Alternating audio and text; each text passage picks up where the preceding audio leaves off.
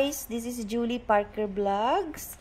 Uh, congratulations, Teresita Domingo Porok 5, Manggitahan, Dalisag, Aurora, Province, Baler, City, Philippines. Ayan ang telephone number. Ayan, pasensya na medyo pangalawang ano na ito palang trip na ito. So ayan, uh, ito yung nanalo sa ating parapol uh, sa ating uh, Win Gikas Grocery Package. Ayan. Ayan na yan ang ano.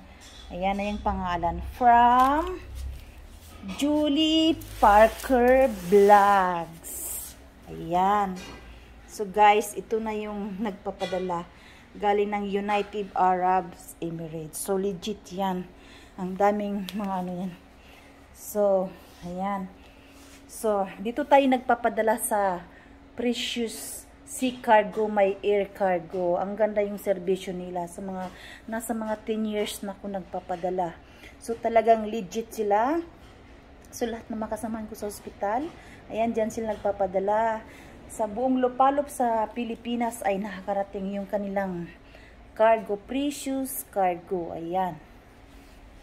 So ito naman of course, hindi lang sa hindi lang din sa mga sa ating mga friends and followers. Of course, ganun din sa aking kapatid, sa aking nanay. Ayan na yung padala ko mga gatas, mga shampoo, mga groceries. Ayan.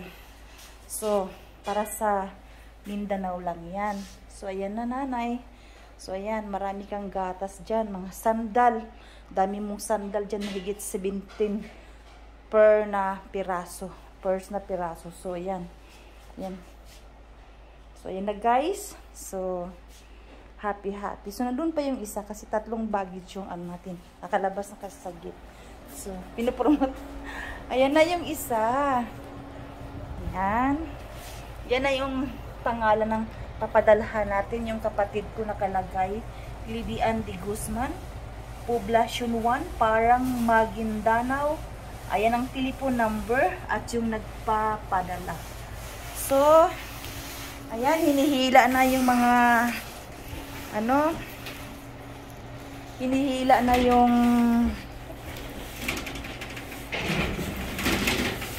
yan, yung papadalahan natin. Yan. Okay? Yes, okay. Yan na guys, ang ebidensya. Yan.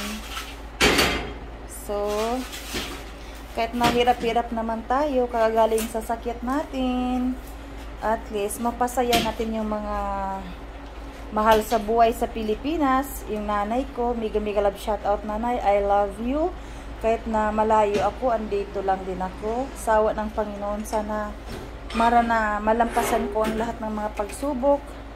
Di naman natin maiwasan dahil isa akong frontliner, nagsiserve sa mga tao, servisyo sa mga tao, ayan yung sasakyan po ng mga ano natin yan. So yan magsusulat pa po sila. Yan ang, ang ganda ng mga servisyo nito talaga. Talagang sa tagal ko na dito kahit na minsan pag kilalang kilala kayo minsan pinapautang bago pa bayaran pag sahod. Kaya kaya guys huwag din yung nasa dito sa abroad kung gusto niyo magpadala, lalo nito sa United Arab Emirates, tangkilikin magpadala, Precious Air and Sea Cargo. Ayan, ang ganda yung mga trabahan nila. Talagang legit. So, ilang beses ako nagpapadala ngayong taon. Ayan. Uh, sa'yo din yan. Ha? Sa'yo din. Oh, hindi. Oh, sa akin yan. Yung Julie Parker, sa akin yan pangalan. Hmm. Uh, di, si, oo. Basta ilagay ko lang dito, oh, di, ano, Julita. Oo, no? oo, ganun. Inalagay mo na lang, ha?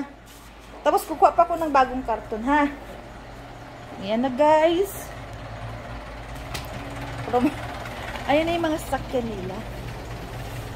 So, madilim na dito. Hindi ako nagbukas ng ulan. Ayan, nakaluling silang daming mga...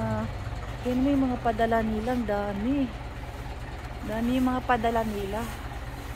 So, ayan. Pinapadala ko na yung ano ko. Mga chu-chu-burchu. Ayan. So, ayan, precious cargo. Pakita natin sa sakyan pa nila para talagang pwede kayong tumawag. Ayan na, Precious Cargo. Ayan, sa mga gustong magpapadala sa Pilipinas. Ayan, Precious Cargo. Ayan ang telephone number nila. Ayan na guys. So, parang, parang wala lang. Parang simple lang. Parang warang naramdaman sa buhay. Relax lang tayo. Laban-laban lang. At hindi natin ipapahalata na tayo ay may sakit. So, ayun na guys. Talagang laban-laban lang. So, ayan. Kuya, ano, hingi ako ng ano, ng, ng, ng dalawang jumbo pa ulit. Yung. Oo. At, kasi, kasi dahan-dahan ako magbababagis. Dalawang jumbo. Kahit na dalawang ismo na lang ulit. Dalawang ismo, dalawang jumbo para. Ah, ano. dalawang super jumbo sa kagad dalawang ganito. Mm-mm. Yung, reg- yung bulilit o regular? Ah, basta ikaw. Regular. Oo. Kung regular. So, ganun na lang guys. Maraming salamat. Ah, ayan na. Ah, once again, congratulations. Teresita, Miga Miga Love Shoutout sa Pilipinas. Ayan na, makakarating na yan. Mga isang buwan lang ba ito? Saan yun, te? Ito sa Baler. Baler. Mga ano yan, te? Mga 40 days. 40 days? O, ayan ha, 40 days sabi ha.